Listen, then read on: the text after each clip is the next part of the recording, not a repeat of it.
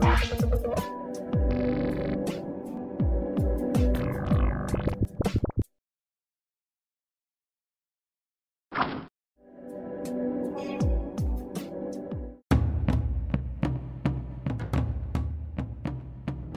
您现在收看的是《灿烂时光会客室》，我是节目主持人管中祥。《灿烂时光会客室》是由公司新闻一体中心编恩、公民行动影音记录资料库我们联合制播的网络视讯视频的节目哦。呃，我们这个节目希望能够透过人物的专访来让让大家了解到这个争议性事件。背后一些制度结构，甚至是文化上面一些问题哦。那我们在看一些社会议题或者社会抗争的时候，不是只有看这这个热闹的部分，更重要的是可以看到的背后的门道哦。呃，我们在节目当中其实也访问过这个消防员呢，我们其实也很清楚知道，在这个消防体系当中，其实呃这些消防人员是非常非常辛苦哦，在他们的劳动条件、设备上面都受到严重的压缩啊。但是前两天其实发生了一件事情，呃，也引发了一个争议哦。这个事情呢，是在于呃，日前在这个花莲曾经有一名领有这个救护技术证照的这个所谓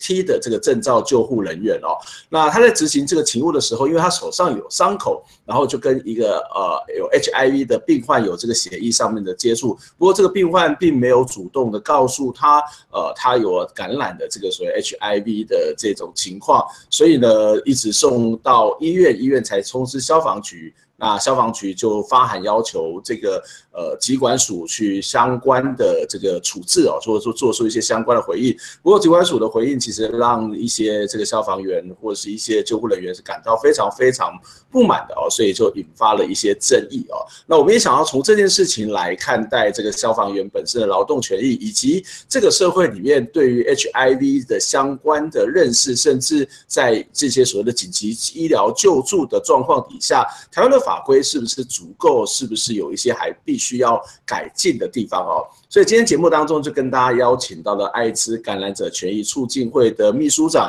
林怡慧来跟我们一起聊这个话题。一慧你好，主持人好，大家好，我是林一慧。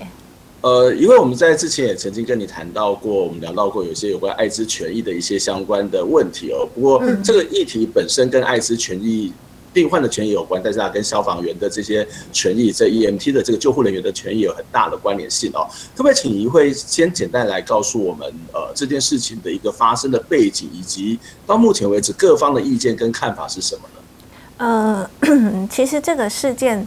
呃，一开始发生啊，哈，就是最近这一波的这个事情，刚刚那个主持人其实已经有跟大家做了一个描述嘛，哈，呃，大概就是地方的消防队员在呃这个呃救护的过程里面有发生这个血液的接触的状况，那呃他后来有做了，就是我们说的这个后的预防性投药。嗯，对，已经有做了这样，那只是就是呃，对他来说，可能这件事情还是呃很辛苦的，然后他现在还在那个过程里面这样子。那当然这 可能我不知道，我不知道，但总之是因为。这个呃，这个地方消防队员的这件事情，所以呢，当地的这个消防局呢，其实就有韩文来询问说，呃，是不是有这个呃，能够认定说这个 EMT 就是我们称叫做这个呃紧急救护员哈，呃，是不是能够认定 EM EMT 是医疗专业人员？因为我们的艾滋法规里面有规定说。呃，如果你是一个艾滋感染者，你去看医生的时候，你就必须告诉医护人员你有感染艾滋这件事情。这个是我们台湾的艾滋法规规定的。所以呢，假如 EMT 被认定为医疗专业人员之一的的话，那 按照这个规定，它就可以被适用。嗯嗯，所以 整 整个走下来的的呃逻辑是这样子。那不不过，这个疾管署他的回应是说，这 HIV 感染者在与医疗机构这个治疗时应该有告知病情的义务，但是不包含到院前紧急救护的过程。这样的一个说法，是不是就把这个 EMT 的工作或者消防员的救护工作，跟这个所谓的呃医事人员在医院里面所执行的这些业务勤务是做区隔的呢？呃，其实就我所知，哈，这件事情还蛮妙，蛮妙的，就是医事人员的认定应该不是归机关署管了吧？因为机关署的全名叫做疾病管制署。对，那嗯，医事人员的管辖的主管机关应该是在卫福部的医事司，应该是对，也就是说呢。呃，就医疗专业的这群人来说，他的主管机关应该不是机关署才对。所以，呃，机关署，呃，对，这这，所以 EMT 到底，呃，依他们受过的训练、考过的执照这些东西，他们到底适不适宜被纳入医师专业人员的范畴？这件事情理论上应该是医师司的全责，应该是这样才对。嗯，那这样的一个事情，其实是一个看到机关署去做这个回应，似乎就以议会的说法，它其实并不符合他现在的这个位置，或是他的这个权限哦。不过回到这个，嗯，对不起，呃，我我插嘴一下哈，因为嗯，我看到的那个韩文，机关署回给内政部消防署的那个韩文，他写的是说，呃，依照现行的也认定的医师人员的范围。并不包含 EMT，对，那所以呢，呃呃呃，依地方依地方卫生局的来函说，呃，这个呃呃，如果是医如果 EMT 可以是医护专业人员，就可以适用艾滋条例的这个规定呢，就没有办法成立，因为前提不存在，是这样子的一个过程。对，所以所以机关署不是在认定 EMT 到底是或不是医疗人员，而是告诉他说，现在看起来你们不在那个范围里面，所以现在的规定好像用不到你们身上这样子。对，嗯，那所以这个当然是是在机关署这边的一个解释。那怎么去认定？可能还必须要经过其他的单位去认定嘛，或者说要经过一个什么样的解释的过程呢？呃。我没有非常的清楚，可是我很确定的一件事情是，这件事情不归机关署管，应该是医师司。对对对，那只是说呢，以目前台湾的消防呃的这个这个系统来说呢，EMT 也不归医师司管，它就是全部都在那个消防署下面，这样这样子。嗯哼，对对对，所以他们变成是呃，就是。就是医师师以外的另外一群在做紧急医疗工作的人，这样，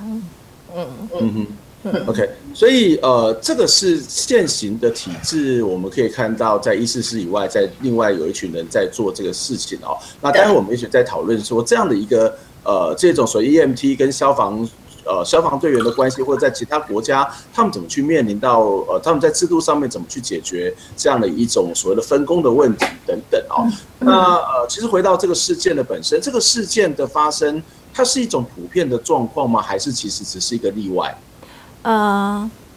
呃，是我我我应该这样说，就是呃，我们也很感谢，就是消防队员呃告诉我们很多实际现场的血淋淋的状况这样子，所以呃，诶，尤其是啊，哈，就是会需要出动到消防救护的，其实它就事件来说，本身就已经都是大部分都是意外事件了这样子。那在意外事件的现场发生更意外的状况，并不令人意外。对，所以这些警呃警消人员、救护人员，他们有没有可能面临到真的有可能感染艾滋的状况？当然有可能啊。对，因为任任何状况都有可能发生嘛，我们只能就是很很概略的这么这么描述它这样子。对，那所以我们。呃，没有人可以打包票说，呃，什么什么样就一定怎么样这样子。只是在意外发生的状况的时候，台湾比较呃比较好的做法是，呃，也也拜医医药科技的进步，就是我们现在可以做投药。那起码在艾滋这个疾病上面是可以做预防性的投药的，而且在台台湾做呃艾滋预防性投药的效果，其实是呃就数字上来说是百分之百成功的。嗯哼，你的说，你所谓的预预防性的投药，就是说你可能被认为疑似，或者你自己觉得会有这种疑似被感染的状况之下，你可以要求做这种预防性的投药。对对对，比如说我是一个呃消防队员，我是一个 EMT，我这一次的这个出勤过程，不管是这个扎到现场的碎玻璃，然后留下来的血到底是谁的？呃，也有可能是我自己的，但也有可能是别人的，而那个别人可能是甲乙丙丁，我自己都搞不清楚，没有办法搞清楚。对，那我，但我觉 我我觉得 这件事情有可能会使我可能感染艾滋，那我就带着那个碎玻璃上面还有血的那个碎玻璃去找有在看艾滋的感染科医生，每个县市都有。有在看艾滋的感染科医生，然后就让他们现场直接的检查那个呃遗留下来的碎玻璃上面的残血，然后我自己现场我也抽抽一管血，然后医生会判断从结果来判断，然后我扎到的状况我是只有表皮皮肤的表皮被擦破，还是进入了皮下组织真皮层，还是怎么样，或者是直接进到了血管或者什么什么，就是我受。呃，伤的程度、跟严重程度、跟范围这些的这样子，那综合评估之后呢，医生如果认为我真的有可能因为这一次的这个状况而感染到艾滋的的话，他就会开药给我吃，这个就是我刚刚说的预防性投药。那开药给我吃，我吃呃，整个要吃一个月啦，哈，那。呃，一个月之后，我刚刚说的，呃，就统计数字上面来看，台湾是百分之百的成功，是指说台湾从二零零七年开始有提供医护检销做这个铺路后的这个预防性投药，呃，就是三百多人，累计到现在有三百多人哈。那呃，所有的人检检查确认的结果都是没有感染艾滋的。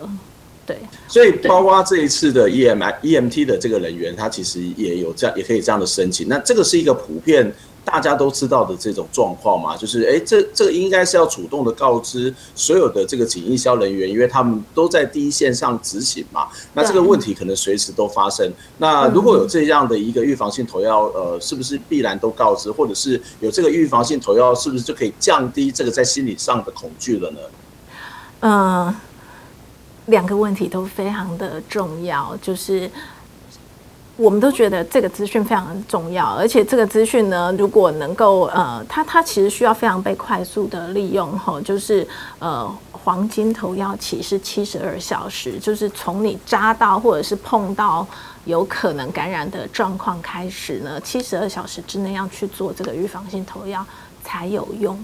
那呃，但如果你再时间再长一点点呢，最长最长不能超过一个礼拜。一个如果超过一个礼拜去做这个，就真的没有机会了。这样子，对对对。那呃，所以这个资讯其实对于医护警校来说，应该是很重要的资讯。呃，我们呃当然希望每一位医护警警校都要知道，只是听起来好像呃还是可能还是有一些人有遗漏这个资讯这样子。听，嗯，对，因为这段时间以来，我们也收到非常多的回馈。那听起来确实有一些基层的，呃，这个医护警校可能对这方面其实是不清楚的。对，这个是第一个部分。那第二个部分呢，就是这个所谓的预防性投药这件事情。哎，它如果真的广而被周知了，就是我们都确认它的普及率够高，大家都知道了之后，它是不是能够降低一定程度的担担心跟这个恐惧？一定可以的，只是有没有办法百分之百的消除？我觉得这个可能还是个问号。对，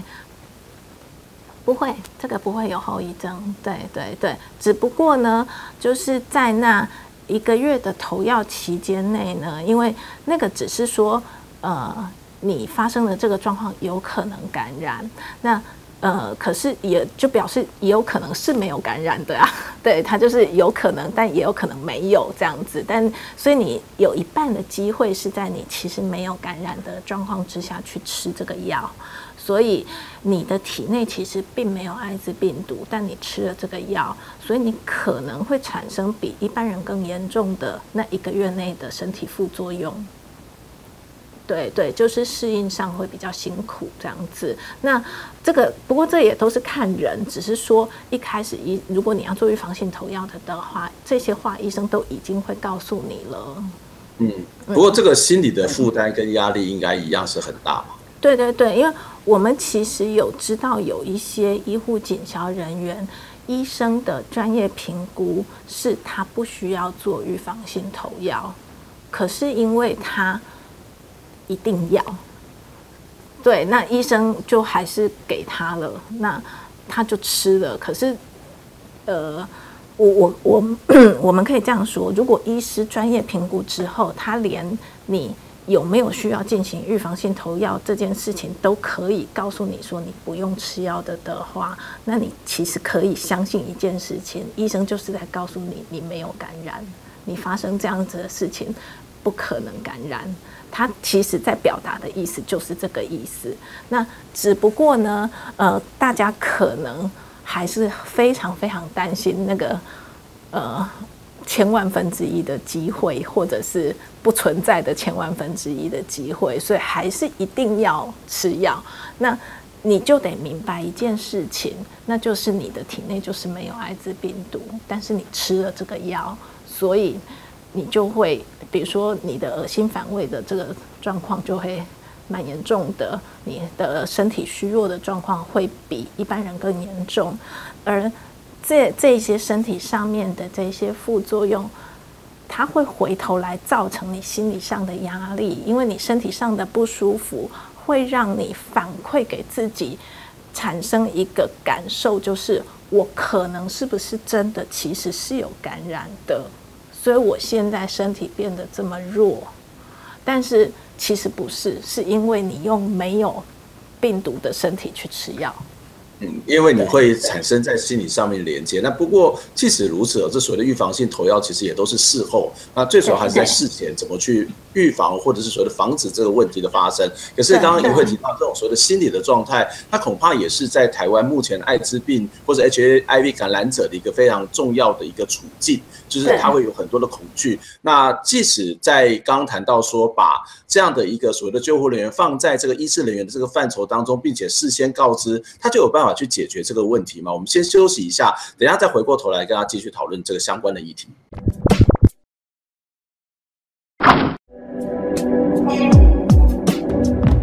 欢迎您收看这个礼拜的大元载报新闻。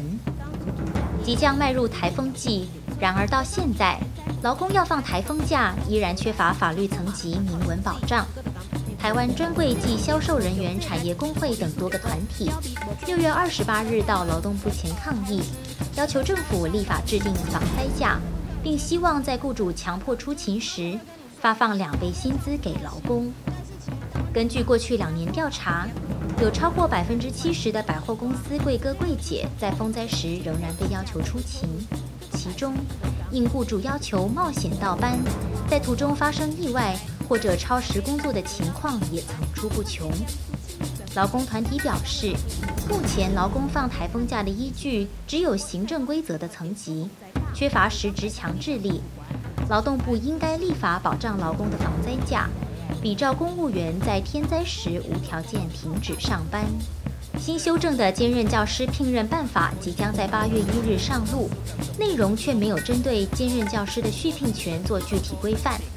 六月二十九日，包括世新大学在内，各校都未遭不续聘的兼任教师以及生源学生，由高等教育产业工会陪同，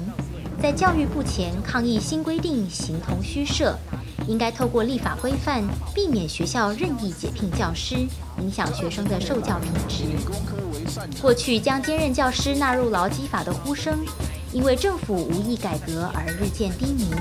高教工会批评。兼任教师的争议问题迟迟没有改善，要求高教司召开会议受理全国个案。对此，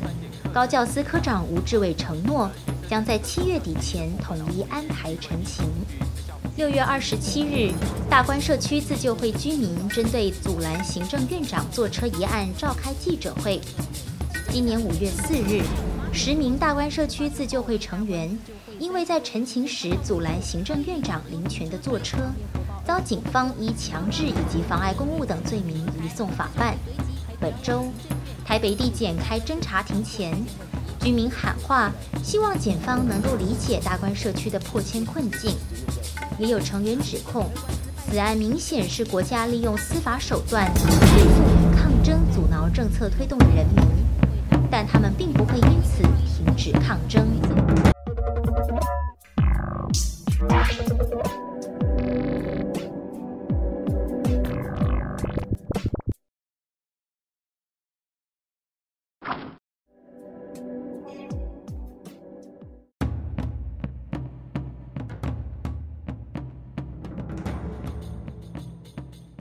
欢迎再次回到《灿烂时光会客室》节目的现场，我是节目主持人管中祥。在刚刚大元仔报新闻当中呢，我们知道在二十八号早上，台湾专柜暨销售人员产业工会、台湾青年劳动九五联盟，还有台湾铁路。呃，产业工会等等的团体其实到劳动部前去抗议，因为我们知道这个台风就快到了，那这个台风假的这个议题，这个争议一直是大家非常关心的问题哦。虽然有人会觉得说台风的时候是赚到了，可是其实呃还有很多人他被迫或是必须要去上班哦。所以虽然这个行有这个我们的政府有这个所谓的行政指导层级的这个天然灾害发生事业单位劳工出勤管理及工资给付的这个要点要点。哦，也载明了劳工在这个天灾未能出勤的状况之下，雇主他不可以视为旷工，或者是不不可以去扣发工资哦。可是这些东西对雇主似乎是缺乏了这个强制力哦。那甚至有很多在柜员在通知。所以要通知的过程当中，其实他们都已经出门去工作了哦，所以其实也增加非常非常多的困扰跟危险哦。所以这些团体也到劳动部去要求能够去施行这个实际的这个有效的法则哦。那这是我们必须要再继续持续关心的这样一个非常重要的一个新闻的现象。回到我们的现场，我们跟大家邀请到的是艾滋权益呃感染者权益促进会的秘书长李怡慧来跟我们谈刚刚的话题。怡慧你好，嗯，主持人好。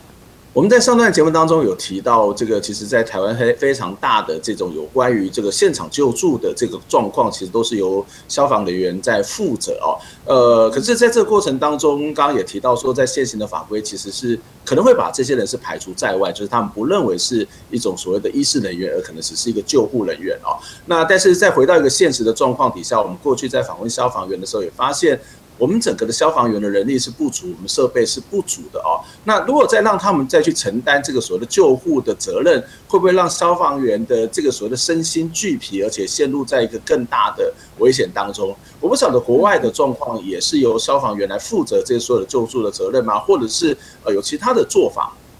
嗯，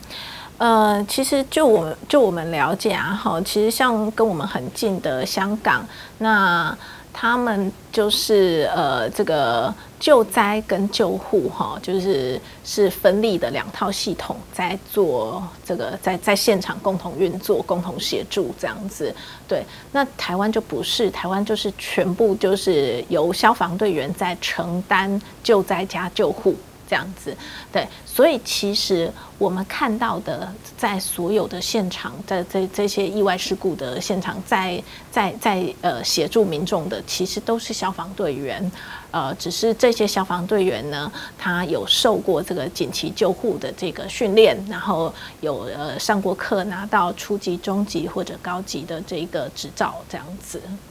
所以所以。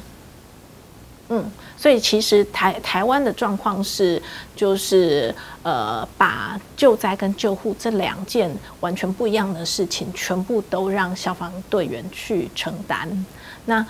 这样子好或不好呢？我作为一般社会民众呢，我看到的是可能，我我我只看我我我可能就是从外面看，我只会觉得说哇，那他们要很厉害，什么事情都要会做这样子。对，那是不是对于他们来说，这样也表示他们承担的责任过重，或者他们在现场需要呃这个这个负担的东西太多，或者呃这个造成呃一些一些呃事物上面分工上面会不会怎么样？太复杂，我这个可能要直接问他们自己会比较清楚，就是他们自己觉得怎么样比较好。只是说国外呃有一些做法其实跟台湾确实是不太一样的。呃，所以就是以刚刚是香港例子来讲，救灾救护它被认为是两个专业或是两套的系统在对对对这样的一件事情，但是在台湾似乎这两个系统是。被结合在一起的，那看起来呃会觉得说这群人是非常厉害，可事实上从某个角度来讲，他们的责任、他们的劳务也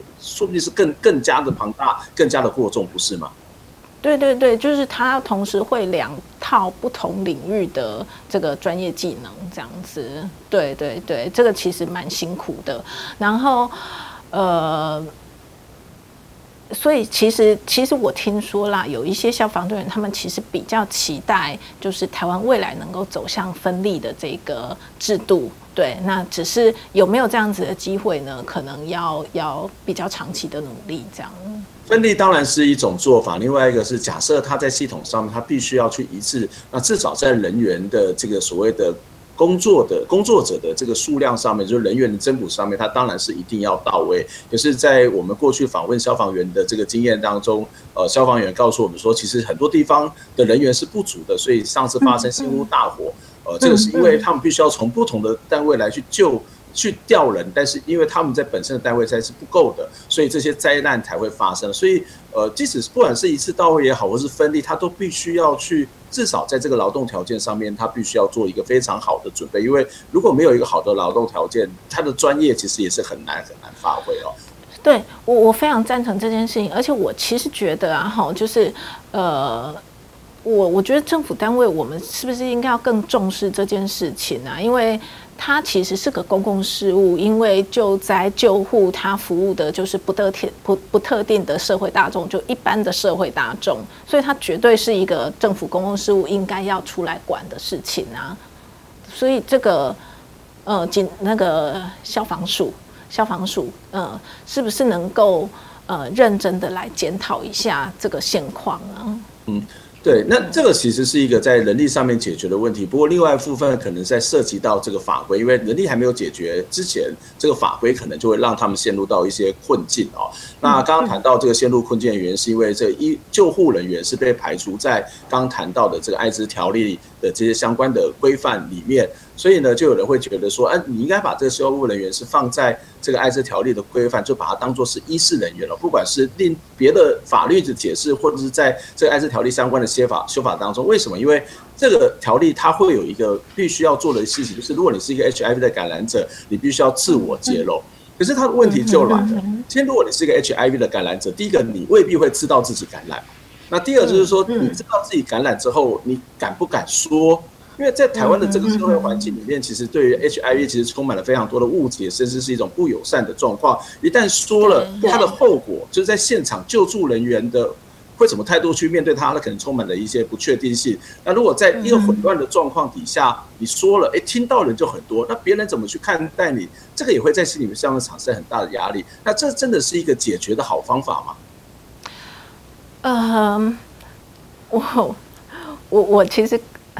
可以这样说啦，哈，就是，呃，因为在那样子的，呃，刚刚提到的两个字非常好，很很混乱的现场状况这样子。因为其实消防队员期呃期待啊，哈，就是不管修不修法，艾滋感染者都愿意主动的告诉他们说自己有感染艾滋这样子。呃，站在我的位置呢，我其实比较想要。呃，我我可以同意一点，就是说，我们愿意鼓励感染者，就是呃，你如果觉得那个环境安全，然后身边没有你呃不希望 不希望在的人在的的话，那你你愿意讲可以讲这样子，对。那呃，可是如果那个现场，因为其实。很多的救灾救护的现场是很乱的，然后什么人都有，可能还有隔壁的大妈经过，她也觉得怎么样这样子，所以那个有的时候其实很难够百分之百的期待说就可以就可以怎么做，即便你可能真的愿意信任这个。这个消防救护人员，你其实也希望说，呃，保护你也保护我自己这样子。你你真的有这样希望，可是现场不见得允许你这么做。我指的那个允许是各客观条件上的允许这样子。对，所以，我但就我们的了解啊，哈，其实消防队员也知道这样子的状况，所以他们其实只是期待说，如果可以讲，那就尽量讲吧。那也没有一定，因为。就像主持人刚刚提到的，他们也知道说，其实不要说台湾，任何地方都有人是其实自己有感染，但是自己也不知道自己有感染的。对对对对对，所以就是永远都有这样子的一群人的存在，所以任何的这个呃制度规范都没有办法在这个期待上面做到百分之百。嗯哼，呃，对。在除了有些是不知道之外，有些可能是他也不愿意讲，因为他可能有非常非常多的难言之隐。这个难言之隐可能包括他的人际关系、人际网络会受到影响。他在文化上面，我们对这样的感染者的一种误解或是歧视，也会他在这个众人面前当中可能就抬不起头来。如果他自己选择了不讲，那这样的一个感染者会会怎么样吗？会被有什么样的处分吗？呃。以目前的这个艾滋条例的规定啊，哈，就是如果你是在规范在应该要主动告知的对象里面，而你没有主动告知他，目前就是医护人员嘛，哈，你没有主动告诉他的的话，可以被科行政罚款。对对对。目前的规定是这样子，那当然这个是艾滋条例里面的规定。可是，假如这个医师人员他就是，或者是像目前警消不在这个嗯艾滋条例的规范范围里面哈，哈，在呃强制要告知的这个对呃范围对象里面，可是警消可以另外去提一般的民刑事啊。如果他真的觉得这件事情对他产生很巨大的伤害，或者他就是。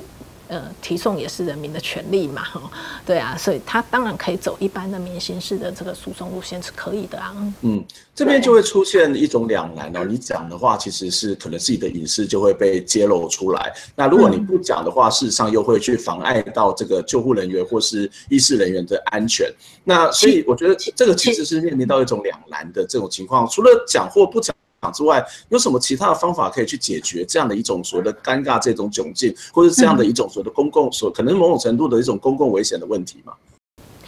嗯，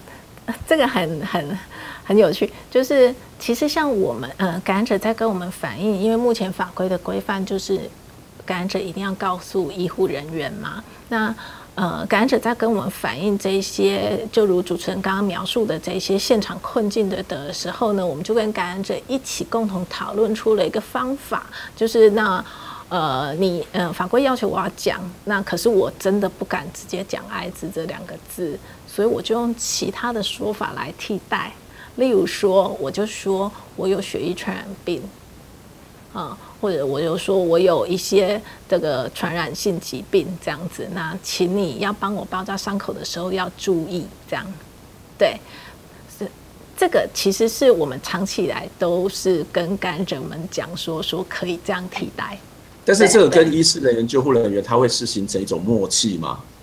呃，其实血液传染病这几个字还蛮具体的，说真的。对对对对，血液然后传染病这样子，对，虽然它的血液传染病不是只有艾滋，呃，像 B 型肝炎也是，C 型肝炎也是这样子，只是一般人，因为我们这个社会说真的，我们不怕 B 肝，我们也不怕 C 肝，那呃，所以其实大家真的会担心的，真的会在意的，也就是艾滋了这样子。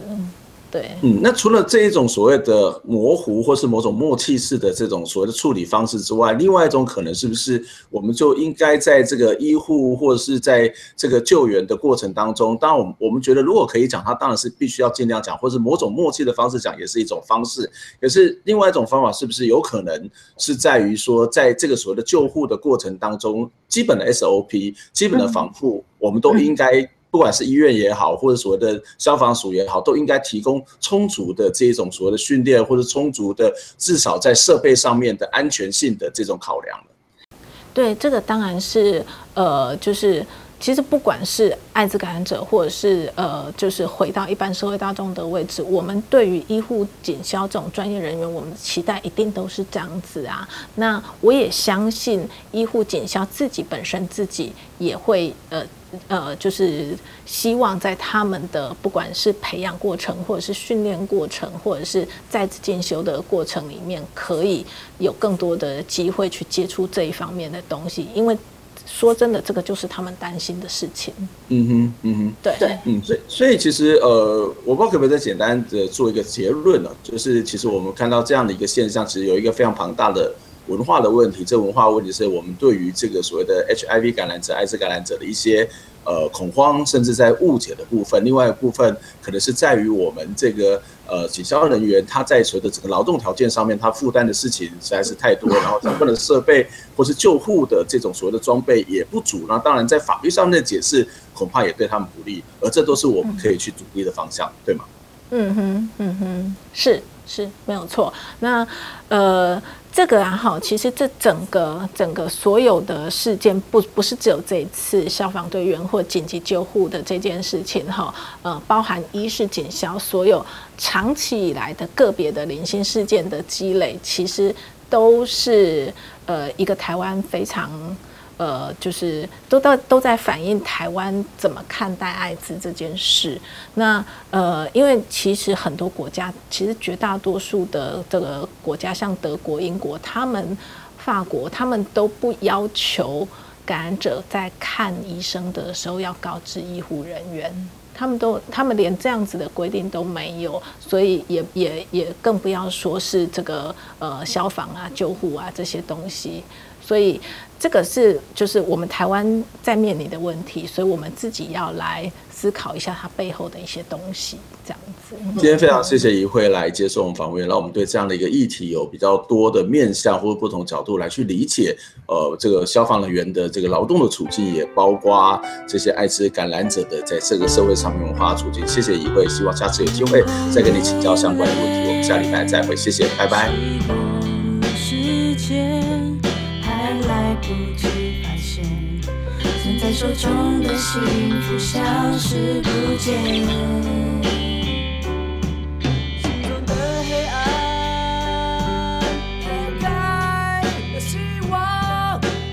要相信生命的动力